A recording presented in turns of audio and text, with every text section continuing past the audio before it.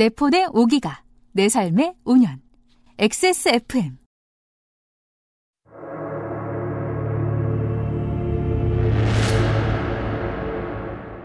XSFM 창사 5주년 기념 특별기획. 전두환 타서전. 제4화 1987 제공 퍼펙트 25 트루 패밀리. 로아스웰 비오틴 셀렌.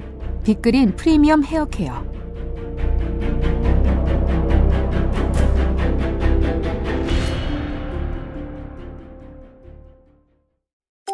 빅그린이 소개하는 탈모 예방 샴푸법. 샴푸로 거품을 내주고요. 흐르는 물에 온도는 차갑게 해서 여러 번 헹궈주세요. 탁탁 두들겨서 모발의 물기를 제거하고 말릴 땐 꼭 찬바람을 이용하세요. 제일 중요한 건 아시죠? 빅그린 헤어로스 샴푸를 사용하는 거죠. Big Green 신비의 구스베리에서 해답을 찾다. 빅그린 헤어로스 샴푸. 10분으로는 부족합니다. 당신의 실력을 충분히 높일 수 있는 최적의 시간. 25분간의 전화 영어. Perfect 25.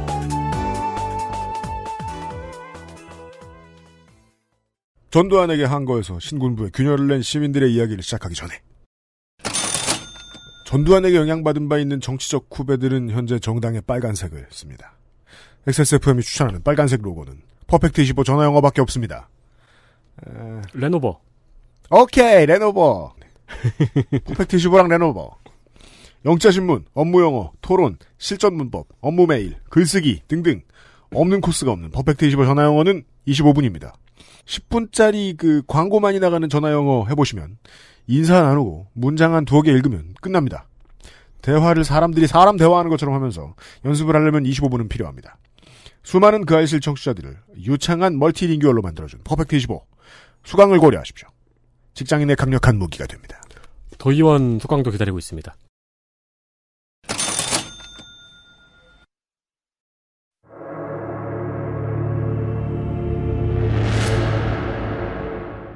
전두환 타서전 제4화 1987 대학생 경찰 조사 중 사망 1987년 1월 16일 11면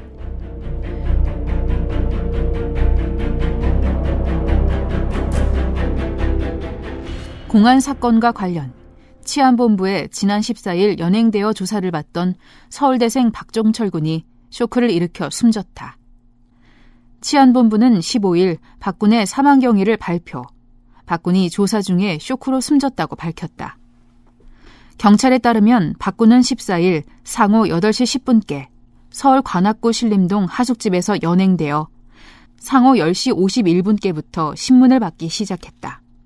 수사관이 박군의 고교 동창으로 서울대 민추위 관련 수배자인 박종훈 군과의 연계 여부와 소재를 추궁하던 중 상호 11시 20분께 은신처를 모른다는 대답에 거짓말 말라며 책상을 치자 억소리와 함께 쓰러져 중앙대 부속병원으로 옮겼으나 낮 1시께 숨졌다는 것이다.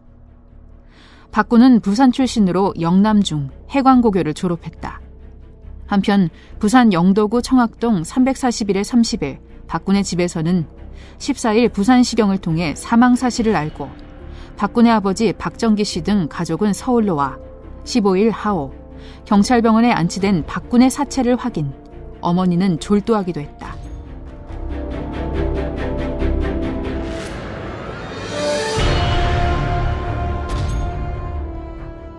지구상의 청취자 여러분 한 주 동안 안녕하셨습니까? XSFM 창사 5주년 특별기획 전두환 타소전 네 번째 시간에서 인사드립니다. XSFM의 유승균 책임 프로듀서입니다. 윤세민 에디터고요. 네, 안녕하십니까. 윤세민입니다. 이제 우리는 어, 무슨 일이 있었는지 블록버스터 영화로라도 어찌저찌 조금씩이나마 알고 있는 네. 1987년까지 시계를 끌고 왔습니다. 편년체로 기록하여 기사들 위주로 당시에 있던 일들을 비교적 투명하게 보여주고 있는 책 전두환 타서전의 엮은이 두 분 중에 한 분이신 국립순천대학교의 황동하 교수께서 이번 주에도 도움 말씀을 위해 나와주셨습니다. 나와주셔서 감사합니다. 안녕하세요. 네. 아, 인트로에 소개된 기사가 지난 시간에는 살아서 삶의 끈을 열심히 놓지 않는 방식으로 세상에 어, 민주화의 씨앗을 뿌린 김근태와 권인숙 이 두 사람의 이야기를 전달을 해드렸다면 어, 죽음으로 세상에 알린 분들도 상당히 많았습니다. 그 중에 박종철 군 사망 사건에 대한 기사가 처음으로 나와 있습니다. 이 기사를 골라주신 이유가 있을까요? 우리나라 민주화의 운동의 어떤 시발점 그리고 모든 사람들이 억눌려 있었던 어떤 정, 정치적인 민주주의를 욕망을 드러내게 하는 그런 사건 이라고 생각을 해서 어, 이 기사를 선택을 했던 것 같습니다. 우리가 지난주에 그 지지난주에 홍콩의 이야기를 김민아 씨한테 들으면서도 이 생각을 했었잖아요. 제가 잠깐 얘기했었는데 어, 시민들은 자신의 권리가 상당수 억눌러져 있어도 시민으로서의 구실을 다 할 수 있고 살아갈 수 있는데 자유를 어느 정도 쟁취한 뒤부터 혹은 자유가 꼭 필요하다는 사실을 느낀 뒤부터는 분노에 갑자기 휩싸일 수 있다. 예. 그 시발점이 된 사건을 골라주셨습니다. 김근태 전 장관이 이제 출소하기 전후 아니죠. 이제 이근한 경감에게 고문당한 사실이 널리 알려진 그때의 고문 공대위라는 게 생겨서 네. 예. 어, 그 당시에 시민사회를 많이 이끌어 주었는데 87년에는 박종철 씨의 사망 이후로 박종철 군 사망 이후로 추도를 위해서 생겨난 국민 추도 준비위라는 게 있었어요. 이것이 또 큰 역할을 합니다. 마치 지금 뭐 2016년에 촛불에서 이제 뒤에서 저 준비를 위해 많이 노력했던 시민단체들처럼요. 국민추도 준비위라고 하는 것 자체는 그 멀리 김근태 씨를 계기로 해서 생긴 고문공대위가 네. 확대 발전한 것으로 보면 될. 것 같습니다. 네. 사실 이 고문공대위가 4.13 호원 조치 이후에 이른바 이제 국민들이 대대적으로 일어나게 되는 민주화 열망을 이제 음, 터트리게 되는 그러한 어떤 국민운동의 어떤 모태가 고문공대였는데 그들을 중심으로 해서 이제 박종철 군 죽음의 진상을 밝히려고 하는 조직이 이제 국민추도위라고 하는 음, 추도 준비위라고 하는 거- 형식으로 생겼는데 주로 물- 물론 여기에는 이제 천주교가 아, 네. 어, 중요한 역할을 하게 되죠. 이 국민추도 준비위가 나중에 이제 국본이라고 하는 민주헌법쟁취 국민운동본부라고 얘기를 하는 것이 그렇죠. 바로 이제 국본입니다. 이 국본으로 이제 통합이 되는 거죠.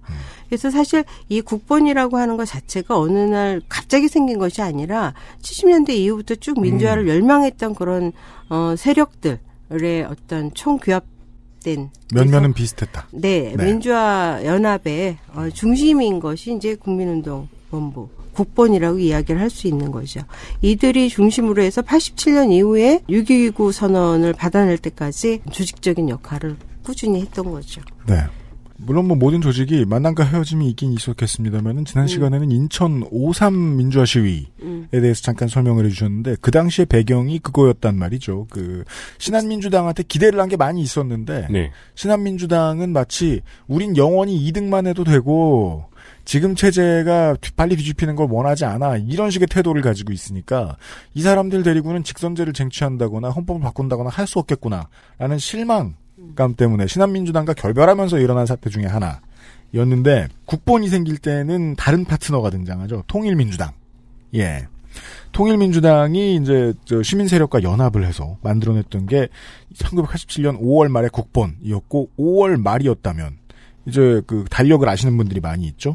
6월 항쟁이 바로 터져요. 네. 예, 국본의 결성 이후에. 그리고 안 그래도 뜨거웠던 것에 황을 그어준 사건은 박종철 군 고문치사 사건이었다. 라는 지적이었습니다. 예.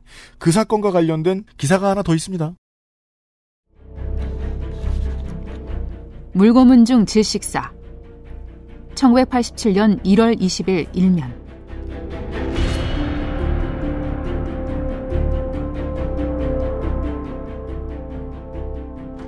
치안본부는 19일 경찰에 연행되어 조사를 받다 숨진 박종철 군은 경찰관의 가혹행위로 질식사한 것이라고 자체 수사 결과를 발표하고 박군의 수사를 맡았던 치안본부 대공수사 2단 소속 조한경 경위와 강진규 경사를 특정범죄 가중처벌법, 수사관의 가혹행위에 의한 치사 위반 혐의로 구속하고 감독 책임을 물어 대공수사 2단장 전성린 경무관을 직위 해제했다.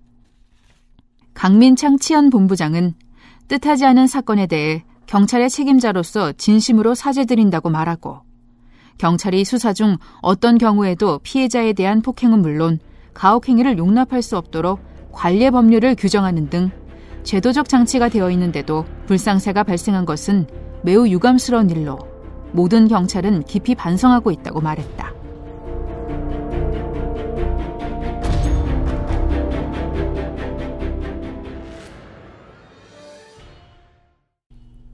박종철 열사의 사망 4일 뒤의 기사를 골라 주셨습니다.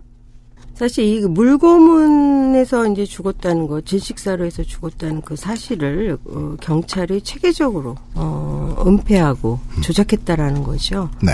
사실 그것도 이제 경찰 내에서 이제 순번을 매겨가지고 영향이 없는 사람 조한경 경위하고 강진구 경사에게 모든 죄를 갖다가 어, 뒤집어쓰게 만들고 꼬리 자르기. 네 그렇게 해서 범인을 조작했고 사건을 은폐하는 정말 한심한 일을 그 경찰의 최고 어, 책임자라고 할 수 있는 강민창 본부장 치안본부장. 치안본부장이 시도를 한 거죠.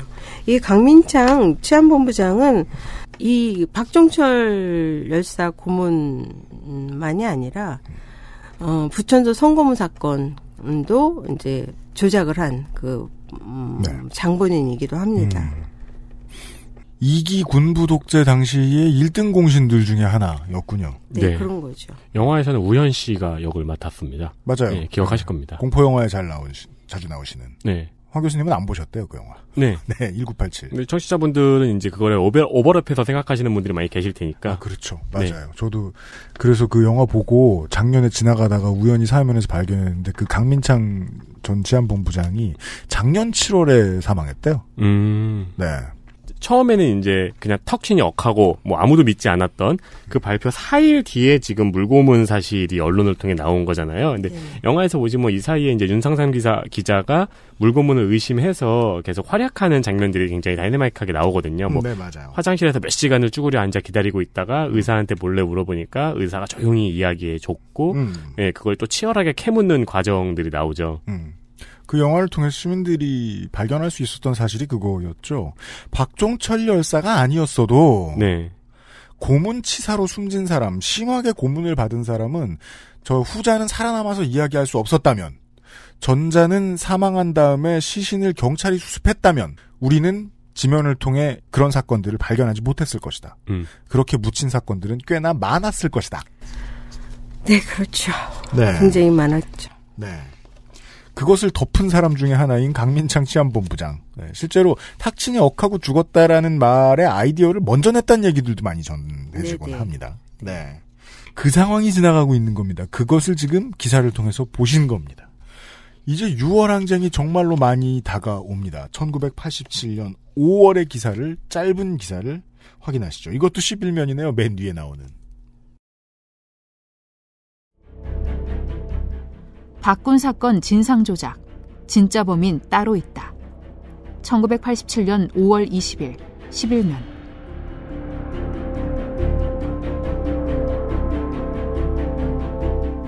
천주교 정의구현 전국사재단은 18일 하오 서울 명동성당에서 있었던 광주 사태 7주기 추모 미사에서 박종철군 고문치사 사건의 진상이 조작되었다는 성명을 발표. 박군을 죽음에 이르게 한 진짜 범인은 따로 있다고 주장했다.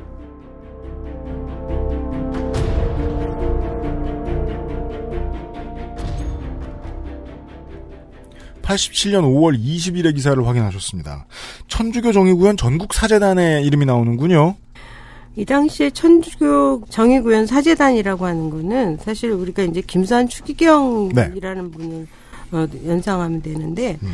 어, 그 당시 민주화 운동의 그 어떤 방패막이 그 민주화 운동을 했던 사람들의 어떤 어, 보호처 네. 라는 그런 역할을 이제 천주교 또는 뭐 다른 기독교 단체들 이런 데서 했는데 종교라는 것이 우리 사회에서 굉장히 입김이 세잖아요. 이름, 네. 이른바 입김이 세잖아요. 근데 이 사제들이 이제 도대체 사람을 갖다 고문해서 죽일 수 있느냐. 그리고 죽이고 나서 그 사건을 또 조작한다.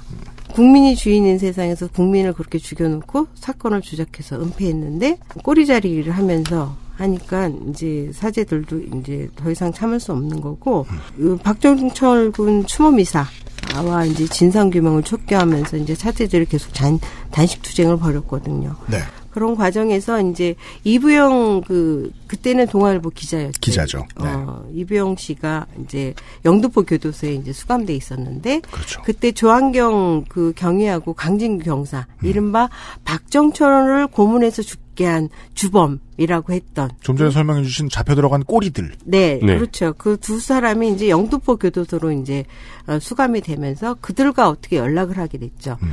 물론 교도소 내에 뭐 비둘기가 있었다 뭐 이런 이야기도 그렇죠. 하는데 비둘기란 사람입니다. 네, 네. 비둘기가 있었다라는 얘기를 하는데 그 사람들에게 이제 이야기를 하게 한 거죠. 네. 어, 만나게 해달라고 얘기를 음. 해서 너네들도 너희 두 명도 이 오공업의 어, 피해자다, 희생자다라고 음. 하면서 설득하죠. 그 설득을 해서 그 사실을 알게 되는 거죠. 주범은 따로 있다. 그래서 네.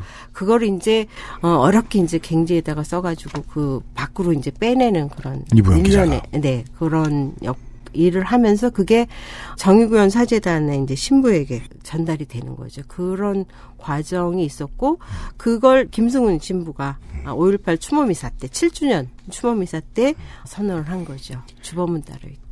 횟수로 9년간 이어져 온 두 번째 군부, 신군부가 무너져 내리는 순간에 대한 기록입니다. 영화에서는 유해진 씨가 받아서 김태리 씨에게 전달해서 김태리 씨가 설경구, 설경구 씨에게 전달을 하죠.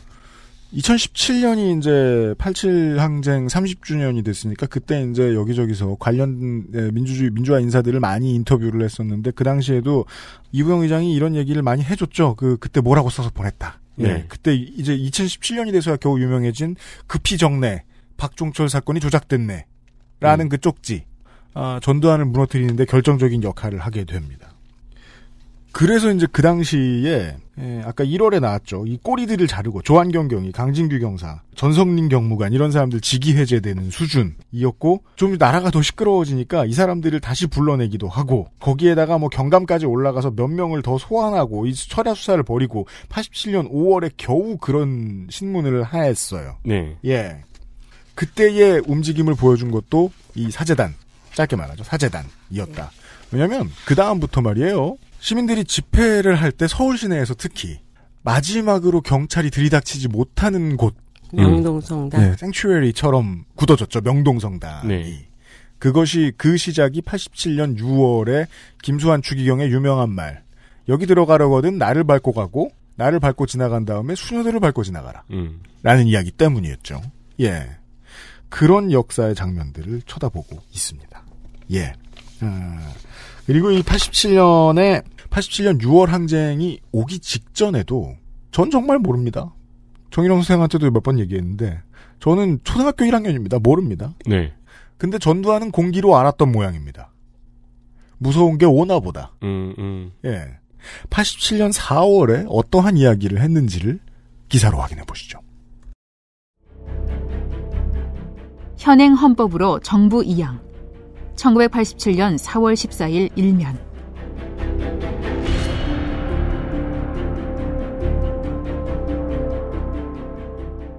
전두환 대통령은 13일 현행 헌법에 따라 내년 2월 25일 후임자에게 정부를 이양하겠으며 연내에 선거인단 선거 및 대통령 선거를 실시하겠다고 천명하고 빠른 시일 내에 민정당 전당대회를 열어 후임 대통령 후보를 선출하도록 하겠다고 밝혔다.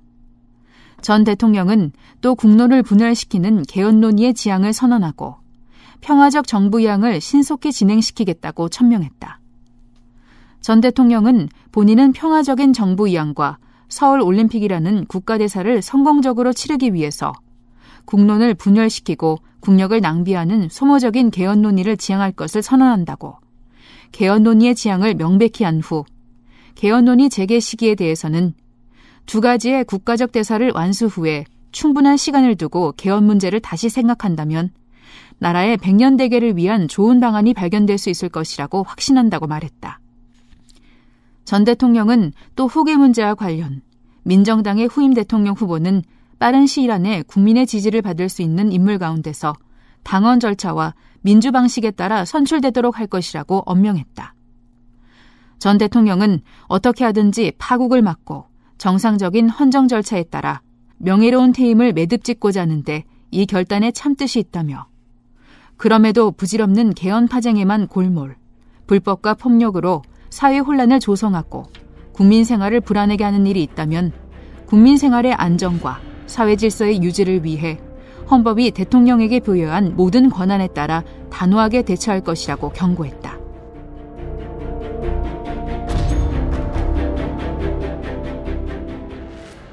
보도자료를 통해 이야기를 하거나 본인이 직접 이야기를 하거나 끄트머리에 사람들 겁주는 버릇은 여전하고요. 개헌 논의의 지향 이라는 말은 무슨 의미입니까, 교수님?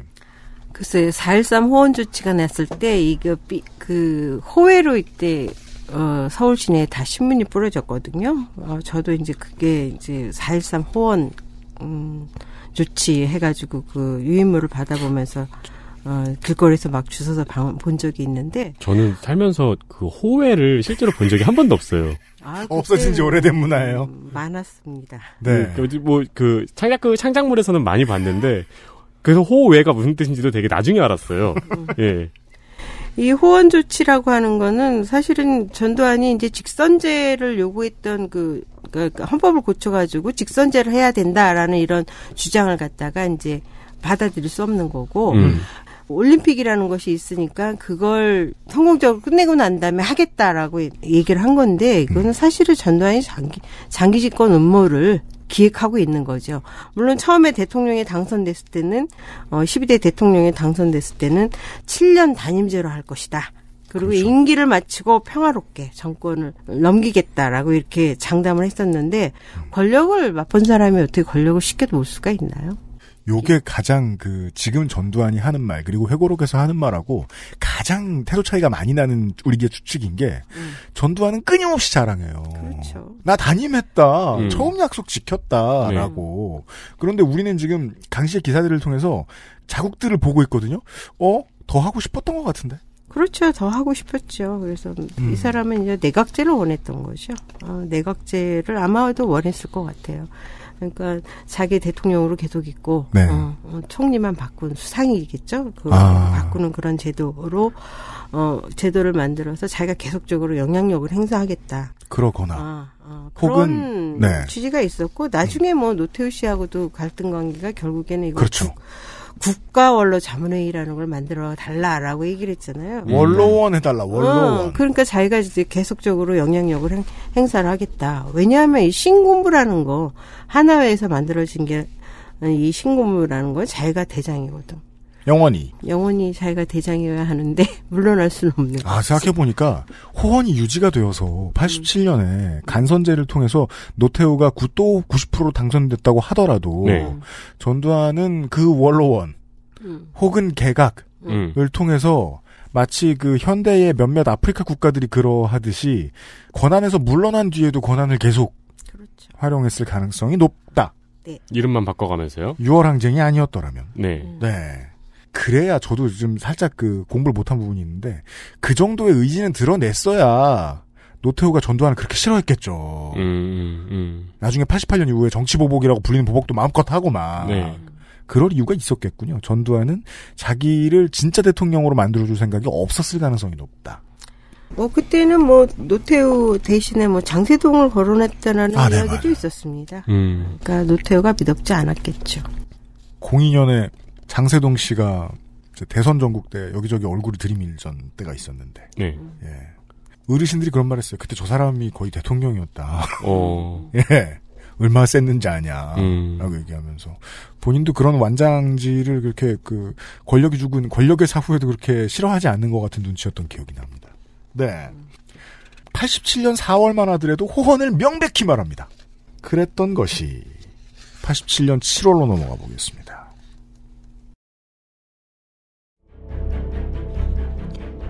연대생 이한열 군 끝내 숨져. 1987년 7월 5일 11면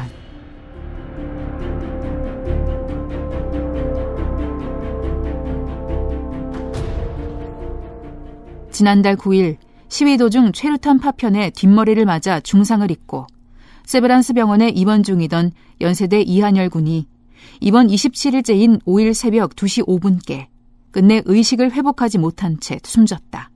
병원 측은 이 군의 사망 원인은 심폐기능 정지라고 공식 발표했다. 어머니 배 씨는 한여리를 돌려달라며 통곡하다 새벽 2시 55분께 실신, 응급실로 옮겨졌다. 새벽 3시 10분께 사복경찰 200여 명이 영안실 입구에서 경비를 하려 하자 학생 50여 명이 흥분, 화염병과 강목 등을 준비하는 등 한때 긴장감이 돌았다. 이때 이군의 지도 교수인 상경대 경영학과 이완수 교수가 학생들에게 여러분은 흥분하지 말고 냉정을 찾자고 학생들을 설득했으며 경찰 책임자를 만나 학생들을 자극시키면 불상사가 일어나니 병력을 금문 밖으로 철수해달라고 요구했다. 이에 경찰은 부검 등 사체 처리 절차를 설명하고 100여 미터 밖으로 일단 철수했다.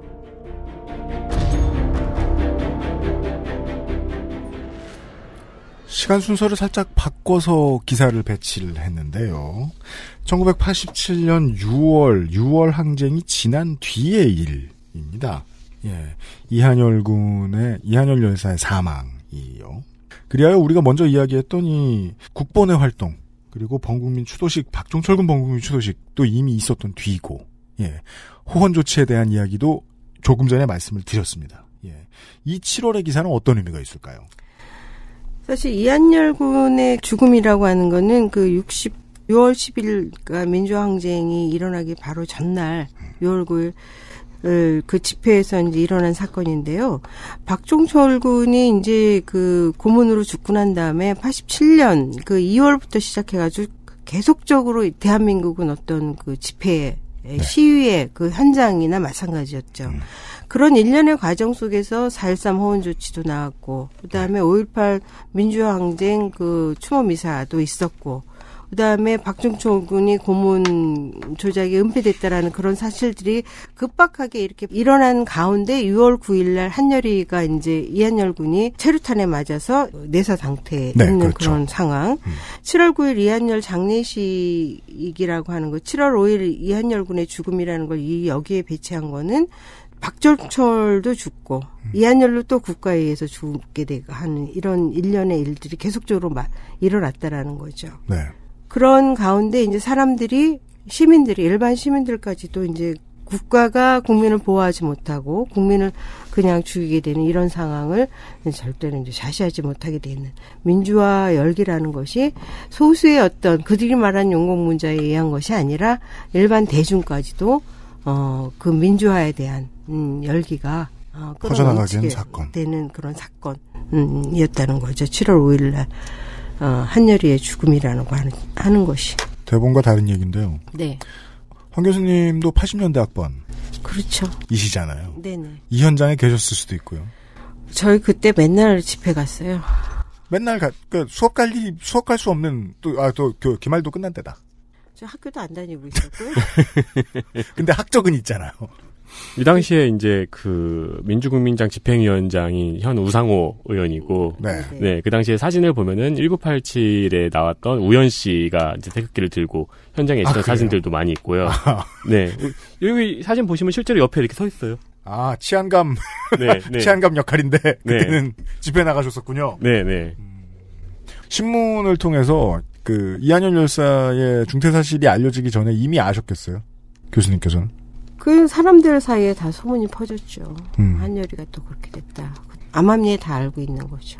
그리고 그 당시에는 소셜도 없었기 때문에 정말로 소문에 의해 조직되고 소문에 음. 의해 더 커지고 분노라는 게 음. 그랬었으니까 대부분이 그 국민운동본부 국본에 그그 음. 그 네트워크망을 갖고 있었기 때문에 음, 같이 움직일 수 있었던 거죠. 그때 당시에 뭐 어, 여러 단체들도 많았고 음. 어, 뭐 학술단체들도 많았고 막 하니까. 네. 그래서 나날이 그냥 아마 서울역 저기 명동 어, 이런 종로 이런 데에서 음. 시위를 했던 것 같습니다. 대학생 20대 중반이었던 황동화 교수도 안에 있었던 6월로 왔습니다. 이제 네 시간을 다시 돌려봅시다. 지금부터 6월 항쟁에 대한 기사들입니다. 60 시위 2673명 연행 1987년 6월 11일 일면.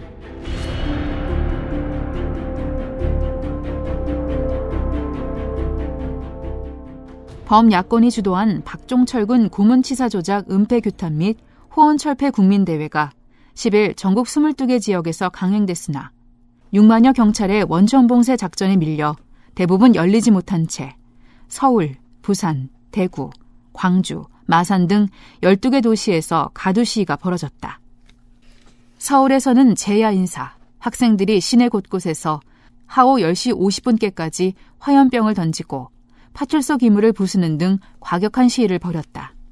김영삼 총재를 비롯한 민주당 의원들과 사무처 당직자, 경인 지역 지구당 당원, 민취업 회직자 등은 이날 하오 5시 30분 롯데호텔 앞에 집결, 성공회까지 행진해 가려 했으나 경찰의 저지로 좌절되었다.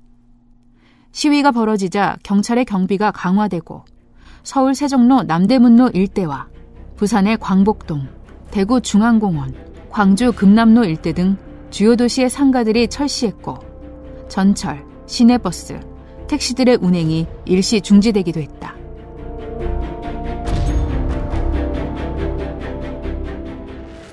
온 대도시마다 정치에 아무 관심이 없는 시민들도 보았고 냄새를 맡았고 네. 전 아직도 몰라요. 87년에 너무 매운 냄새가 길거리에 심해서 집에 들어갔는데 그게 어디서 있던 지표였는지 아직도 몰라요. 음, 음. 네. 제가 사는 곳은 시내랑 멀리 떨어져 있는 곳이었는데도 말이죠. 그러면은 서울 전역에서 최루탄들이 터지니까 사실 어디에 있어도 냄새는 났을 거라고 생각하는 그럼요. 편이 더. 체류탄 냄새 한번 맡아보세요. 어떤가?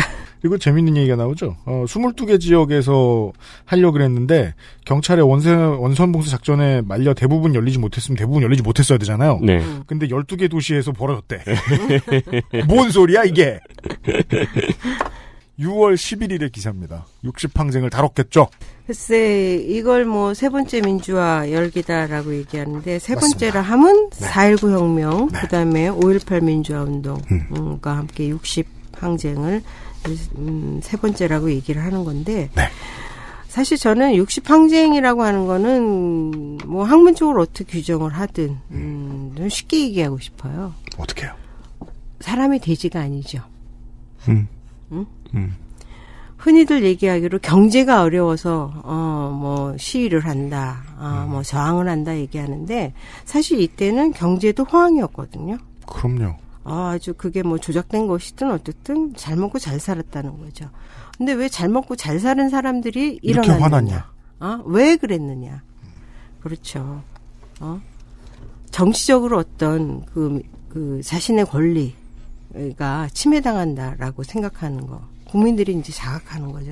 더 이상은 이런 자유가 침해당하는 건 있을 수 없다. 참을 수 없다라고 얘기를 했고 네. 그것 때문에 이제 들고 일어난 건데 그 꽤나 생각해 볼 만한 지점인 게, 그 뒤에 태어난 사람들은 이걸 알 수가 없는 게, 어, 80년대의 사람들은 우리가 배고픔을 벗어났다라는 분명한 지각을 가지고 있잖아요. 근데 거기에 대해서 꽤나 고마워해야 할 때에, 우리는 지금 전두환의 머릿속에 들어가 있죠. 네. 되게 고마워해야 할 때에, 어, 사상 가장 큰 집회를 벌였어요. 음. 그 집회라고 하는 거는 단순해요. 그 고문 조작 은폐한 걸 갖다는 사, 사, 그 사실을 낱낱이 발견하는 거였고, 음. 그 호언을 철폐하고 다시 얘기하면 직선제 우리가 원하는 대통령을 뽑겠다. 어, 직선제를 해달라 이 요구였다라는 거죠. 네. 그것이 이제 어그 전 국민이 그거 사실은 전 국민이라고 봐도 되는 거겠죠. 음. 어, 그걸 원했던 건데 그걸 이제 그 막으려고 계속 꽁수를 벌였던 거고 그리고 사실은 이때 군대를 또 다시 5.18 민주화 운동과 마찬가지로 군대를 투입하려고 생각을 많이 했었던 거죠. 네. 군이 적극적으로 의견을 냈다고 하죠. 네네. 네. 그죠. 그 이야기가 쏙 들어간 게 지금 와서 생각해보니 행운이군요. 예. 음, 네. 그렇죠. 군이 행운이죠. 투입될 수도 있었는데. 지금에야 뭐 미국의 눈치가 어떻게 보였다 이런 사- 그 역사적인 사실들을 다 아는데 우리가 당시에는 어른들이 그런 얘기를 많이 했다고 이거 군대 또 들어온다.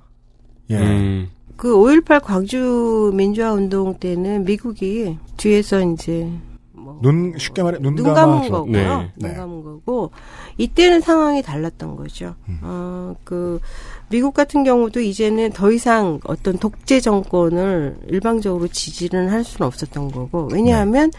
86년도에 필리핀에서 일어나잖아요. People Power 혹은 에피파니오 데 로스 산토스 에비뉴 혁명.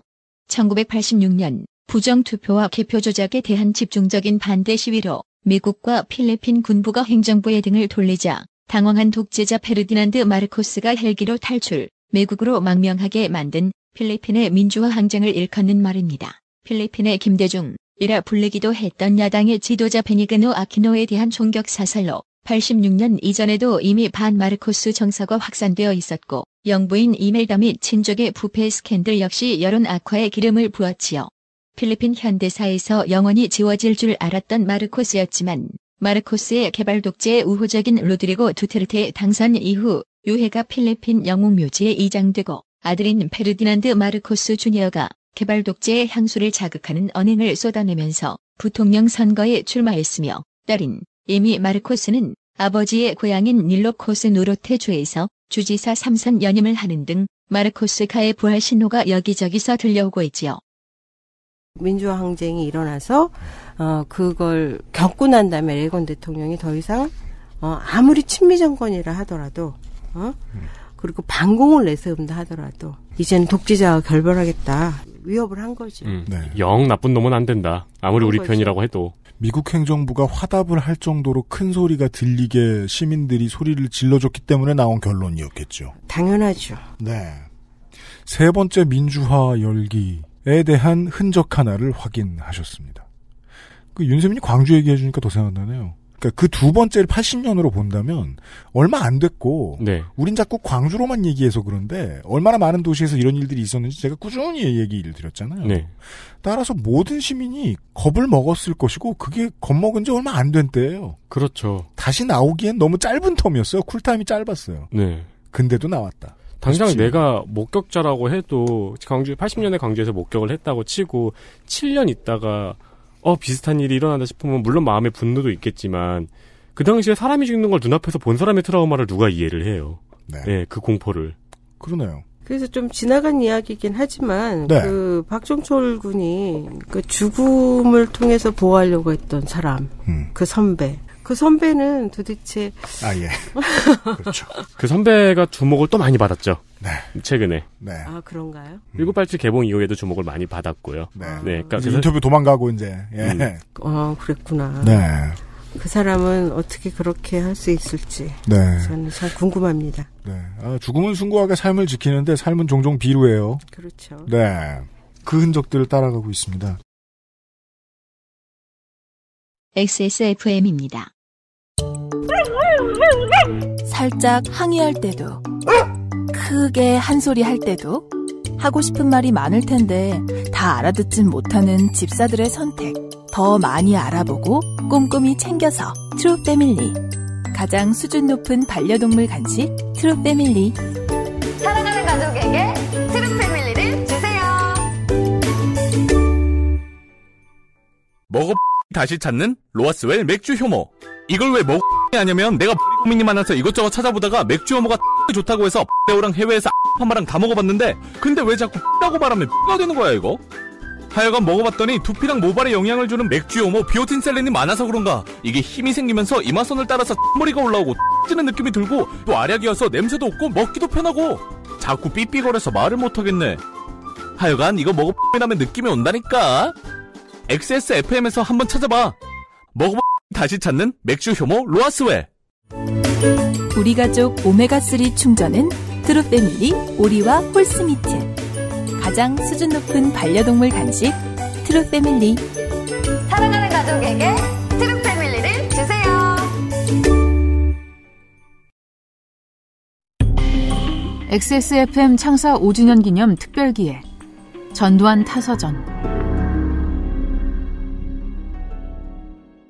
6월 9일에 이한열 열사가 뇌사 상태에 빠진 뒤에도 사람들은 움츠러들기는커녕 더 분노해서 6월 10일에 어마어마하게 큰 크기로 빠져나왔고 그 다음부터는 6월 내내 집회들이 이어지는데 천주교가 아니더라도 불교, 기독교도 집회를 해주고 회사원들 집회라고 따로 조직해서 나온 집회도 있었어요. 네. 음. 예.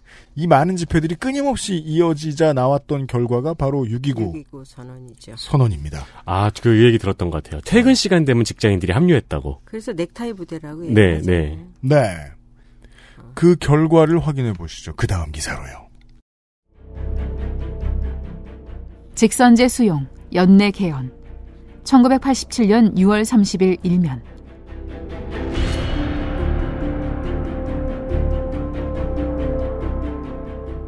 민정당의 노태우 대표 위원은 29일 상호 대통령 중심 직선제 개헌을 수용하고 김대중 씨의 사면 복권 조치 및 모든 시국 관련 사범의 석방, 언론 자유의 최대한 보장 및 국민 기본권 신장 등 시국 수습을 위한 8개 항의 독자 구상을 특별 선언 형식으로 천명하고 이 8개 항을 전두환 대통령에게 건의하겠다고 밝혔다.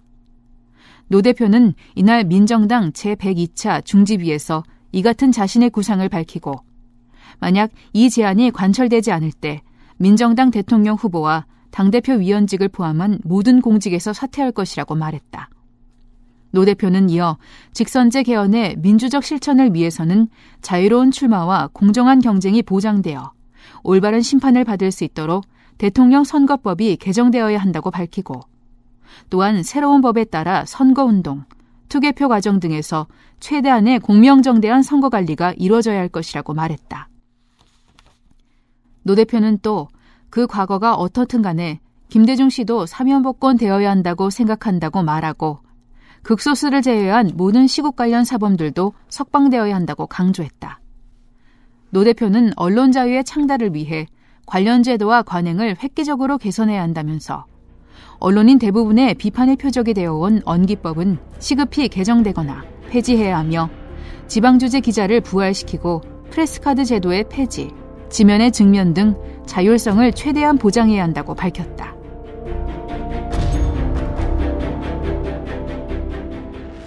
그저 정치인이 한 말의 기록일 뿐임에도 우리는 상당히 드라마틱한 변화를 느낍니다. 세상이 뒤집어졌다라고 스스로 인정하고 있습니다. 노태우가. 아니 7년간 철권 통치 잘했단 말입니다. 어떻게 이렇게 확 뒤집어서 다 물러났을까요? 한꺼번에. 그동안 쌓아놓은 성을. 국민들의 의식이 음, 깨어 있다라는 거를 음. 느꼈겠죠. 계속적으로 독재, 탄압을 통해서 정권을 유지한다라는 거는 음, 불가능하다라는 걸 알고 있었고 거기 뭐 미국도 도움을 줬던 거고 그리고 또 노태우와 전두환이 약간의 갈등, 후계 문제로 약간의 갈등을 겪고 있었는데 이참에 내가 치고 나가자. 아, 그래서 아. 이제 뭐 그런 요인들도 작용하지 않았을까라는 생각이 드는데요. 그래서 6.29 선언을 하게 되는 거죠. 노태우는 전략적으로 음. 전두환 대신에 국민을 선택했거나 그런 거죠. 음. 아니면 전두환과 국민의 양손을 붙잡고 한번 줄을 타보기로 했거나 음. 하는 거였을 수도 있겠군요. 네네. 전두환 한 사람의 간택을 받는 게 꽤나 어려워졌다는 생각이 드니까. 그렇죠. 어느 정도 이해가 됩니다. 노태우, 노태우와 전두환의 갈등에 대해서도 지난 시간에 좀 설명을 해주셨고요. 이제는 우리가 이 언론사들이 과거의 기록들을 좀 뒤져볼 수 있게 됐기 때문에 네. 접한 것들이 많습니다. 관심이 없으셔서 못 보셨으면 못 보셨을까 볼 수는 있다는 거예요. 그 80년에도 이미 CIA는 전두환이 이상한 짓을 하는 것 같다는 보고를 많이 해놨었고 음. 네. 전두환의 집권기 내내 비판 세력을 향해서 가혹한 전술을 자꾸 쓰면 우리와 충돌할 수도 있을 것 같다. 라는 음. 분석을 내보내기도 했었다는 사실이 네. 이제는 알려졌죠. 네. 우린 이제 알았는데 전두환과 노태우는 그때 이미 알았을 수도 있다. 알고 있었죠. 그래서 이때 그 어, 미국에서 이제 특별 보좌관인가를 예. 이제 파견을 하게 된데 레이건 대통령이 파견하게 된데 그 사람도 안 만난다라고 얘기를 했었잖아요. 전두환이 네. 더 이상 간섭하지 말라라고 버틸려다가 음. 결국에는 이제 무릎을 꿇게 된 거죠. 제재 조치. 네. 한국이 제재 조치를 당하는 일이 있을 뻔했어요. 경제 관련된. 제재 조치뿐만 아니라 올림픽도 못 치르게 될 것이다. 아, 그렇죠. 라고 음. 어, 그렇게 이제 위협을 하게 된 거죠. 음. 아, 그러게요. 그러면 올림픽도 어차피 못 하게 됐는데 개헌이나 하라고 또 국민들은 승질 낼 수도 있고. 사실은 사면 초과였다고 보면 될 겁니다. 더군다나 이 당시에 그 전두환 친척들의 비리들이 계속적으로 어 언론에 보도가 정경환 씨로 정경환 네. 뭐 이순자의 뭐 네. 오빠 동생 해가지고 계속 그 비리가 폭로되는 88년부터 매일같이 일면에 나왔어요. 예 그런 네. 상황이었기 때문에 음. 그 전두환으로서는 선택의 여지가 없었던 거죠. 네. 그때 미국은 왜 그렇게 강경하게 제재를 했던 걸까요? 앞전에도 얘기 음. 말씀을 드렸지만은 86년에 필리핀 민주혁명이 이제 성공하고 난 다음에 음. 미국 입장으로서도 이제는 더 이상 그, 그 독재자를 후원한다라는 그런 이미지를 전 세계에 줄 수는 없는 거죠. 아, 아무리 그 친미 반공 세력이라 하더라도 독재자는 아니다. 어느 정도 그 민주주의라는 것이 어, 밑바탕이 된 그런 사람들을 지원해야 되겠다라는 그런 이미지 일종의 이미지 정치라고 할수 음, 있는 거죠. 음. 저 독재자를 지원하는 것이 저 나라 국민 전체의 반미 감정을 부추길 수 있다. 당연하죠. 라는 80, 판단. 어, 80년대 광주 사태, 광주 그 민주화 운동 이후에 어, 문화원이 미국 문화원이 그렇죠. 몇 차례에 걸쳐서 이렇게 습격을 당하잖아요. 네. 그것도 메시지가 됐을 수 있군요. 그런 반미 운동이 굉장히 이제 크게 일어난 상황인데 음. 어 그거는 한국에서의 반미 운동이라고 하는 거는 굉장히 중요한 거거든요. 한국이라는 것이 냉전 체제 속에서 그 한반도가 차지하는 그 어떤 위상을 생각해 볼 때이 네.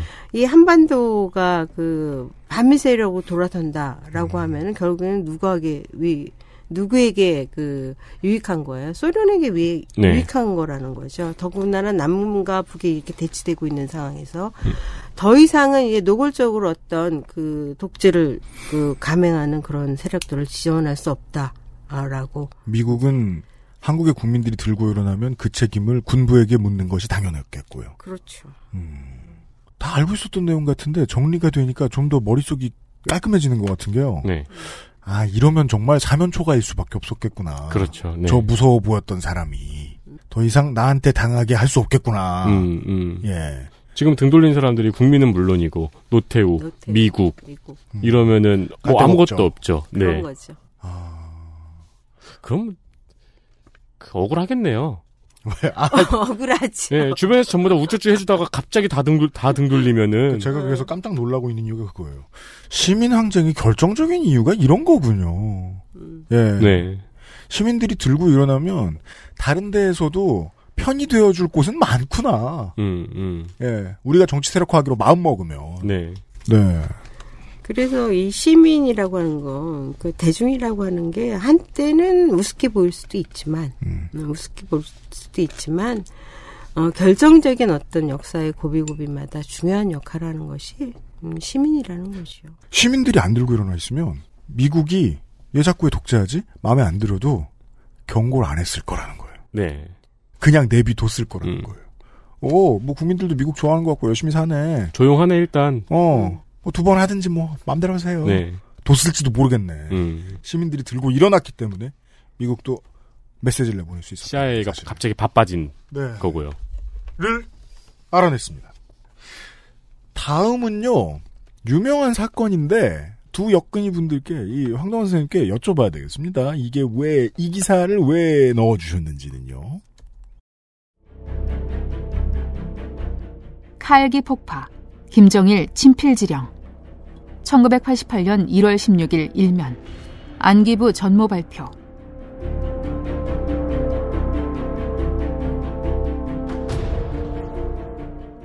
지난해 8월 29일 발생한 칼기 858편 폭파 사건은 북계 김정일의 친필 지령에 따라 각국의 서울 올림픽 참가를 방해하기 위해 자행된 북계 정예 공작원들의 소행이었다. 국가안전기획부는 15일, 지난해 12월 15일 바레인에서 연행, 조사해온 하치아 마유미는 7년 8개월 동안 해외 공작원 교육을 받은 북계 노동당 중앙위원회 조사부 소속 공작원 김현희로 현재 앙골라 주재 북계 무역대표부 수산대표인 김원석의 딸이며 음독자 살한 하치아 신이치도 노동당 조사부 소속 전문 공장 요원인 김승일이라고 수사 결과 전모를 발표했다. 이들은 88 서울 올림픽 방해 등 북계의 대남교란 특수 공작을 위해 부녀가장 공작조로 편성돼 84년 7월부터 3개월간 해외여행으로 현지 적응 훈련을 받은 뒤 87년 10월 7일 88 서울올림픽 참가 신청 방해를 위해 대한항공 여객기를 폭파하라는 김정일의 친필 지령을 받고 1개월간 시한폭탄 조작 방법 등 특수훈련을 받았다. 이들은 11월 29일 상호 7시 44분 기내 선반 위에 폭발물을 넣어놓은 채 중간 기착지인 아부다비 공항에서 내려 비행기가 29일 하오 2시 5분께 버마근의 안다만 해역 상공에서 폭파되어 승객 승무원 등 탑승자 115명 전원을 사망하게 했다. 김현희는 서울로 연행되어 온 뒤에도 중국어, 일본어 등을 사용하며 거짓 진술을 해오다 한국 실정을 알고 심경 변화를 일으켜 8일 만인 12월 23일 우리말을 처음 사용하면서 범행 일체를 순순히 자백하기 시작했다.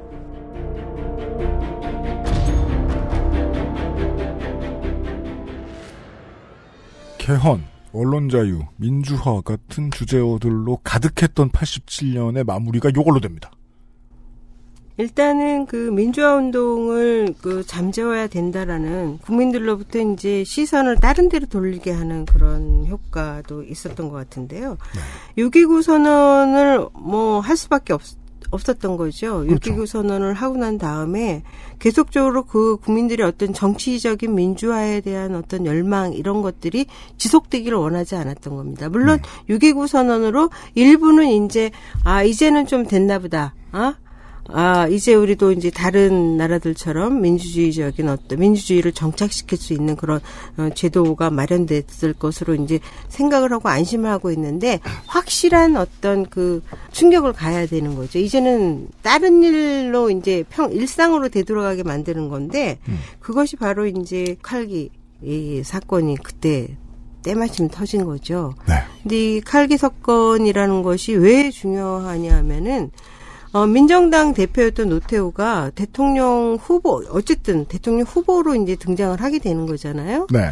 민정당 말고 이제 그 당시 김영삼이나 뭐 또뭐 음. 뭐 김대중이나 이런 사람들이 이제 출마를 하게 되는 건데 음. 만약 민주화 열기가 계속된다면은 어, 같은 배에 탄 이 노태우라고 하는 민정당 대표가 당선되기가 너무 어려울 수도 있지 않느냐. 네. 어?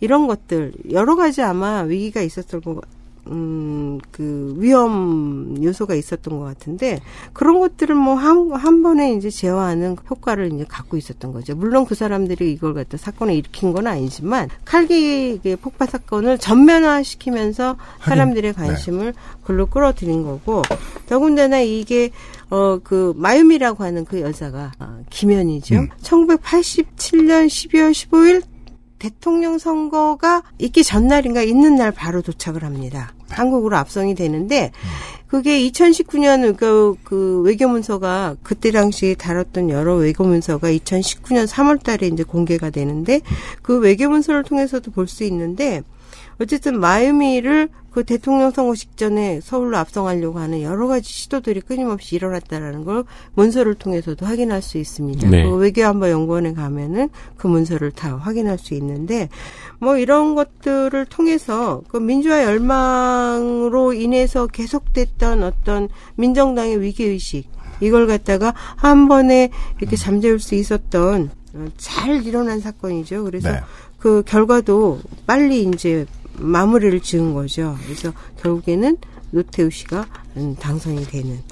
물론 여기에는 노태우가 당선된 데는 여러 가지 요인들도 있죠. 뭐 YS와 DJ의 분열. 네, 네. 단일 후보를 만들지 못했다라는 거, 뭐 이런 것도 있긴 하지만 그 시의적절함이 그때부터 지금까지 계속되는 음모론이 되는 거죠. 네, 네 그렇죠. 너무나도 시의적절했기 때문에. 이른바 북풍이라고 하는. 네, 그렇습니다. 그렇죠. 그리고 네. 말씀해주신 것처럼 외교부에 대선 전까지 꼭 데리고 와라로 재차 요구했던 문서가 이제 또 공개가 됐었고요. 네. 조사 결과가 아직 다, 다, 가 닿질 못해서 음. 안기부의 조작이냐 아니냐를 놓고 고민하시는 분들도 있고 어딘가에선 토론이 이루어질 수도 있는데 그러면 본질을 외면하게 되는 결과일 수도 있겠습니다. 왜냐하면 이게 우연이든 기획이든 음. 얻은 이득은 똑같아서. 음. 그래서 가장 이해 안 되는 게 그거죠. 북한은 대체 무슨 생각을 하고 예. 노태우를 당선시키지 않을 목적으로 이걸, 이 일을 저질렀다고 하죠. 예. 답답해 죽겠는 겁니다. 이쪽에서 보기엔. 예. 왜, 대체 왜? 네. 지금이야 알려주신 대로 칼기 기밀 문서들이 거의 모두 공개됐고 이러다 보니까, 아, 북한 소행이 아닐 수 없다라는 당시의 그 미국의 분석 결과들을 우리가 지금 다 알고 있죠. 네. 그 굉장히 네. 오랫동안 준비했다는 거는 작년에 네티님이 와가지고. 네, 맞아요. 네, 설명을 해드렸었고요. 예. 그 납북자 송환 에 대한 이야기를 드리면서요. 네. 그 지금까지에 나왔던 이야기는 이 민주화 과정에서 뭔가 다 이유가 있어서 발생한 일들 그리고 신군부가 밝힐 수 없었기 때문에 가리려다가 겨우겨우 밝혀진 일들 이런 음. 것들이었는데 이거는 성격이 다릅니다. 네. 우연한 일이고 우리 입장에서는 네. 신군부는 이것을 활용 못해 안 달랐던 일이었습니다. 그렇죠. 그래서 그 저 회고록을 보면은 사람들의 열기가 있었고 그 다음에 민정당이 얼마나 정의사회 구현에 최고의 노력을 기울여 왔는지 알기 때문에 사람들이 노태우 후보를 뽑아줬다 이렇게 말하고 끝나요. 네. 네. 아, 그러고 보니까 전두환의 삶에서 이 두 번의 사건이 굉장히 기가 막힌 타이밍에 터졌군요. 네. 일단, 예, 박정희 박정희 사망과 씨와 이 칼기 폭파 사건. 네. 둘다 전두환이 일으킨 게 아닌데, 네, 굉장히, 굉장한 타이밍에 전두환의 주변에서 일어난 일이네요. 우연한 일에 대한 기사를 보셨습니다. 그리고 이거는 뭐 최근에 다시 밝혀진 일이긴 하지만 이 일은 당시에 이제 드디어 시- 그 투표권을 얻어서 투표에 참가해 보신 많은 시민들이 꽤나 많이 관심을 가지셨던 사건입니다. 오늘의 마지막 기사는요. 구로구 개표 시작 못해 1987년 12월 17일 11면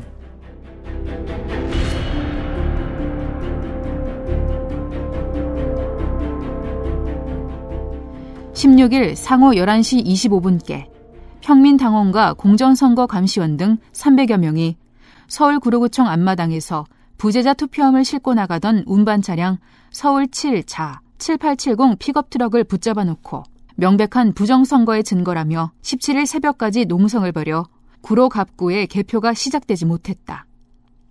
당원들과 공정선거 감시원들은 개표가 하오 6시부터인데 상호 11시 25분에 운송해 갈 이유가 없고 투표함 위에 봉인이 되지 않아 명백한 부정선거의 증거라고 주장, 농성을 벌였다. 문제가 된 투표함은 구로 울구 개표소인 서울부녀복지관으로 운반되던 구로 울구 제1투표함으로 열세 부분만 선관위원회 도장이 찍힌 종이가 붙어 있었다. 하오 2시 30분께에는 문익환 목사가 하오 3시께에는 평민당의 이중재 선거대책본부장 등이 구로구청에 도착, 항의했으며 당원 시민 등이 2천여 명으로 늘어나 농성을 계속했다. 이들은 어두워지자 20여 개의 횃불을 켜들고 문제가 된 부재자 투표함 주위에 둘러앉아 목격자들의 증언을 들으면서 부정선거 결사저지라는 구호를 외치며 구청청사 출입구를 가로막고 공정선거 감시단 이외에 일반인은 출입을 완전 통제했다.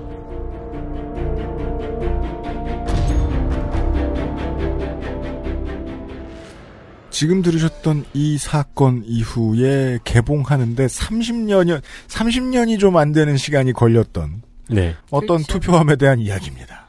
2016년 10월에 개표, 개봉을 했죠. 이 구로 항쟁에 대해서 소개를 해주셨습니다. 이 책에서. 이 구로항쟁이라고 하는 거 부정선거 자칫하면 부정선거로 갈 수도 있지 않을까라는 어떤 사람들의 시민들의 위기의식. 우리나라가 역대 그 3.15 부정선거부터 시작해가지고 굉장히 투표, 선거에 대한 어떤 불신이 굉장히 강했잖아요. 네. 근데 이제 직선제라는 걸 이루고 난 다음에 이 투표함이 다 그 투표가 종료되고 난 다음에 밖으로 나가야 되는 건데 중간에 옮겨졌단 말이에요. 네. 여기에 뭔가가 의무가 음모가 있는 거 아니었느냐 이런 그 의심 의구심에서 사람들이 이제 그 투표용지를 갖다가 어 그 투표함이 밖으로 나가지 못하게 이제 깔고 앉은 건데요. 상호 11시 25분이면 점심 때 투표함을 빼내려고 한 거군요. 네 그런 거죠. 그 당시 뒤져보면 이제 이 공정선거 감시단이 투표함을 깔고 앉고 주변에서 그 투표함을 지키고 있는 사진이 아직 남아 있습니다. 네 그런 거죠. 사실은 그때 부정선거의 소지가 뭐 많았다라고 얘기하는데 그 당시 이제 사람들이 그 투표함을 깔고 앉고 나서 어, 선거 사무소에 이렇게 다 올라가 보니까는 증거들이 많이 나왔다는 거예요. 증거요?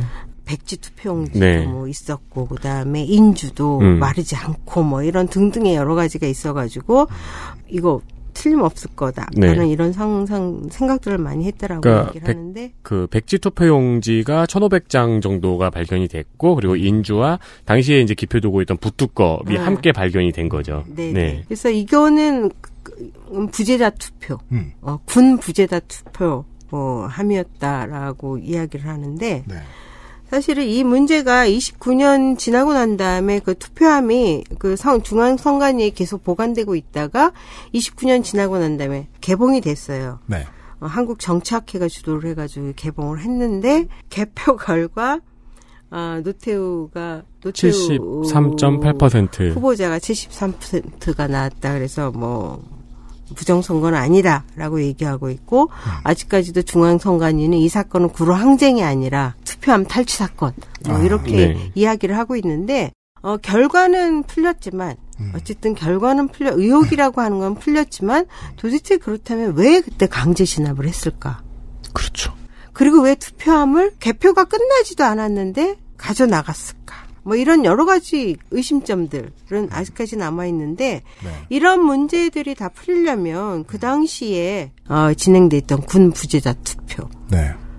어, 요즘은 많이 나아졌다고 하죠. 네. 어, 근데 예전에는 어, 지휘관들이 보는 앞에서 이렇게 선택할 네. 수밖에 없었던 그런 부재자 투표의 실태 이런 것들을 갖다가 면밀히 조사해서 음, 뭐 공개를 해야 되는 거고. 옛날에 개표 방송 보다 보면 아버지나 어머니가 그런 말씀하셨던 게 기억이 나요. 아직 군 대표가 안 나왔어 저래.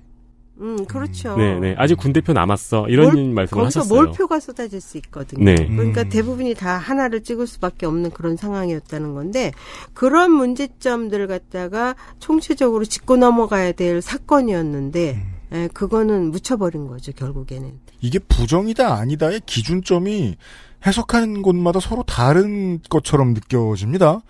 그뭐 선관위 쪽에서 혹은 뭐 이걸 이게 아니다라고 말하고 있는 쪽에서는 신군부가 뭐 잘못한 게 아니다라고 말하고 싶은 쪽에서는 찍은 대로 깐 거다. 찍은 대로 들어간 거다. 그 당시에 갑자기 표를 조작한 게 아니다. 음. 그러면 부정이 아닌 거 아니냐. 하지만 다른 기준이 있을 수 있다는 거죠. 그럼 군만 노태우가 70% 나오는 건 군인들 본인에게 시켰다고 해도 어떤 부정한 방법으로 투표를 하게 시킨 거 아니냐. 그건 뭐- 청산해야 할 과거사의 일부 아니냐. 부정 아니냐 그건. 네. 많은 분들이 기억하시겠지만 당시 노태우의 득표율은 36.6%였는데 이 현 투표함에서 73.8%가 나왔으니까요. 네. 이런 것도 진압한 이유에 대해서는 아직까지도 얘기가 없잖아요. 그러게 말입니다. 전두환 회고록이 답답한 이유는 무엇을 자랑했다가 아니라 보다 보면서 느낀 건 말하지 않는 게 너무 많다라는 것입니다. 응. 자기가 하고 싶은 얘기만 했으니까. 그 중에 중요한 사건들을 지난주와 이번 주에 짚어볼 수 있었습니다. XSFM입니다.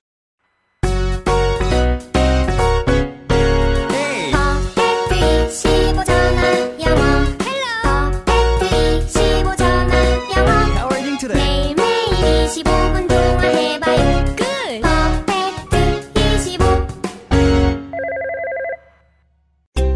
25 투쓰리에서 헤어로스까지 XSFM과 함께한 5년 빅그린이 자연에서 해답을 찾아갑니다. Big Green 건강한 변화의 시작 빅그린 헤어케어 시스템 XSFM 창사 5주년 기념 특별기획 전두환 타서전 구로항쟁도 그 아직까지도 동지회가 있는 걸로 알고 있어요.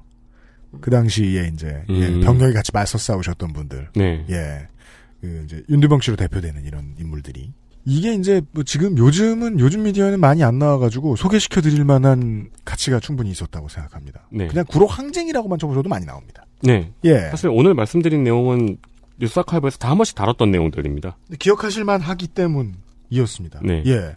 지난주와 이번 주는 87년을 전후하여 아, 국민들이 어떻게 신군부를 무너뜨렸는가 그리고 신군부는 전두환은 원래의 계획은 무엇이었을까도 한번 예측해 볼 수 있었고요. 예. 아, 근데 이걸 다시 기사를 찬찬히 읽어보니까 지금 우리가 투표소에 가가지고 평화롭게 투표 찍고 인증, 인증샷 찍고 나오잖아요.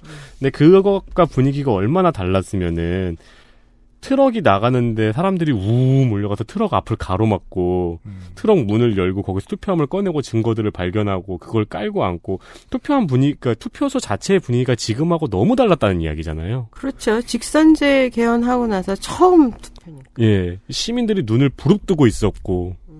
저 참여정부 때 군인이었는데 부재자 투표했었거든요. 네. 멀쩡했어요. 저는 그 군인에서 투표할 때 되게 좋았어요. 시내 나가서 시내 구경하고. 맞아요. 네. 예, 땡땡동 동사무소 와 시내다 이러고서 그냥 운 좋으면 짜장면도 먹고 오고. 하지만 87년에는 시민들이 죽을 각오를 하고 음. 지켜야 할 게 있다면 지켜야 했었습니다. 네. 시민들이 무엇을 얼마나 지켜야 했고 어, 캥기는 게 없었다고 말하는 전두환 정권이 에, 이 시민들을 어떻게 상대했는가가 오늘의 마지막 이야기로 잠시 후에 나갈 겁니다. 예. 그리고 마지막 회에서 다시 저희들은 돌아오도록 하지요. 오늘도 수고해주신 순천대학교 황동환 교수님 고생 많으셨습니다. 감사합니다. 구로구청 농성 어제 아침 강제 해산 1987년 12월 19일 11면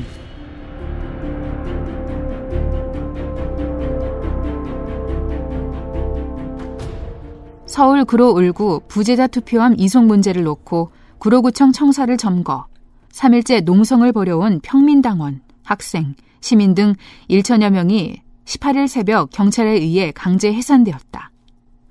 경찰은 상호 6시 30분부터 28개 중대 4,500여 명의 병력으로 진압작전을 시작, 2시간 만인 상호 8시 30분께 학생 등에게 붙잡혀 있던 김진호 구로구청장과 선관위 관계자 등 100여 명을 빼내고 시위대가 점거하고 있던 투표함 4개를 회수, 그로 을구 개포소로 이송했다.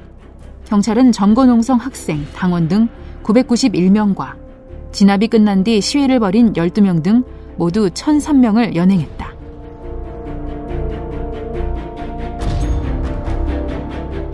XSFM 창사 5주년 기념 특별기획 전두환 타서전 제4화 1987 프로듀서 유승균 해설 황동아 나레이션 김송이었습니다. 다음 주 목요일 마지막 회 단죄편이 업데이트됩니다.